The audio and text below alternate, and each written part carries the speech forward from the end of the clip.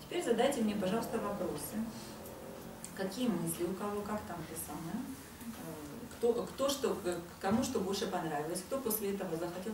Ирина Александровна, что хотели бы взять? Вот я вот рассказала, что вы хотели для себя? Вы для себя в голове там придумали уже, что будете брать? Ну, я уже решила бальзам брать. Угу. Взяла э, ионизатор, Угу. бальзам, Угу. а потом еще и для мозга что-то. Для мозга еще. А для сосудов? Все вкусное, Вот, все вот, нужное. кстати, Кстати, по Ага. поводу бальзама, мой вам совет. Я применяю его в комплекте с сосудистыми. Сосудистые. Потому что однозначно, ну как, у меня-то зрение похуже, а дочка мне часто говорит, у тебя лопаются сосуды. Сосудики. Понятно, спасибо.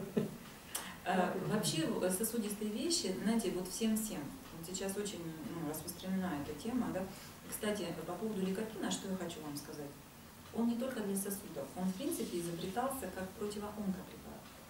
У него есть противоонкоактивность. Поэтому если э, вот, э, Оль, э, вы говорили по поводу тех людей, у кого есть эта проблема, то вода и сосуд. Вода и сосуд. Ну и опять же, да, вода, конечно же, лучше доносит все полезные вещества, ну то есть кровь доносит лучше, конечно же, по эластичным сосудам. И еще, вот еще один, понимаете, надо, наверное, выписать все э, показатели. Дело в том, что вода разжижает кровь. Наша вода от ионизатора разжижает кровь. И как следствие отпадает необходимость во многих э, э, кроворазжижающих препаратах.